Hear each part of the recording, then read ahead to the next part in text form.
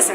Bueno, en la casa de otra forma eh, hemos encontrado un poco desordenado, puesto que en algunos acervos documentales no se ha entregado como debe ser, pero estamos eh, analizando, estando eh, solicitando los informes a los respectivos áreas, a que esto demos cuenta pues a los 100 días de gestión.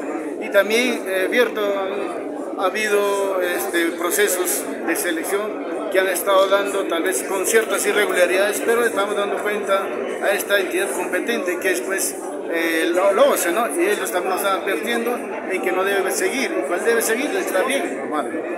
Ahora, ¿ha habido trabajo en la Contraloría? ¿La Contraloría ha llegado por ahí?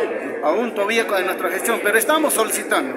Esta semana eh, el asesor está haciendo el documento correspondiente para hacer llegar a la institución que es la Contraloría y ellos pues irán a visitarnos a la municipalidad. Ahora, ¿cuál es la prioridad para Cajay? Bueno, nuestra prioridad es el agua, siempre he dicho, y recién pasamos de este clima que nos ha azotado pues de la sequía y por, por tal sentido en nuestra gestión estamos priorizando este líquido vital importante que es el agua, tanto como para los animales, consumo humano también para las plantas. Muy bien, el cano minero que ustedes reciben no es tan ambicioso y por eso usted tiene que palanquear obras con apoyo del gobierno regional. ¿Esta iniciativa es correcta? Claro, o sea, aparte que nos llegue el presupuesto a nuestro distrito, solicitamos no tan solo a la región, también vamos a tocar puertas a los Ministerios.